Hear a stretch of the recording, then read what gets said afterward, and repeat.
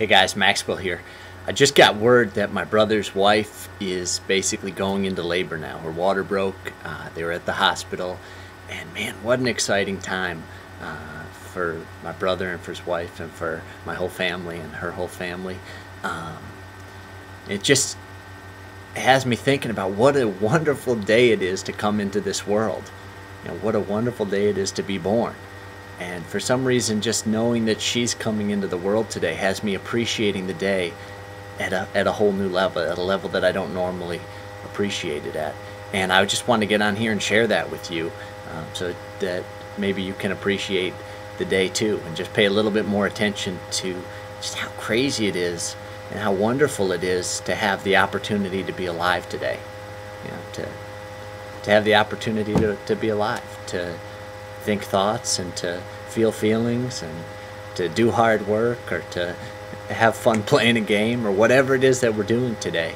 Um, it's just it's pretty cool and and we're so we're so used to it that it's so easy to forget just how special it is but when somebody comes into life or or when somebody goes out you know that's that's really the only time that we that we a lot of times that we remember just how you know just how, just how special it is to be here.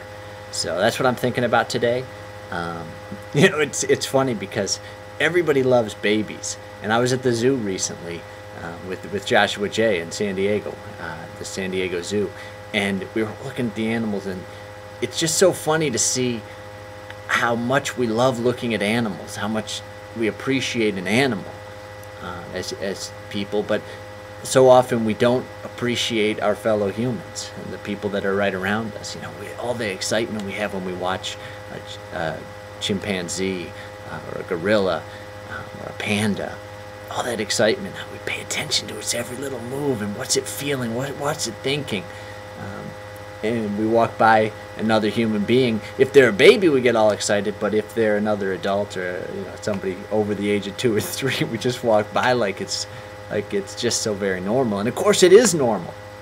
It's normal to us, but it, it's such a, an amazing thing.